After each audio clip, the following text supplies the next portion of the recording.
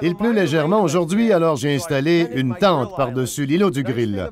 Elle exigera beaucoup de travail sur mesure, mais elle aura vraiment belle allure. J'ai installé le réfrigérateur Lynx, qui est très beau. L'évier en acier inoxydable est ici. Nous avons installé le tuyau d'évacuation, ainsi que les conduites d'eau chaude et d'eau froide. La poubelle sera ici, au bout.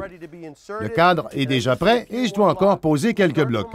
Je vais donc commencer dans ce coin et encapsuler tous les appareils et éléments. Allons chercher d'autres blocs.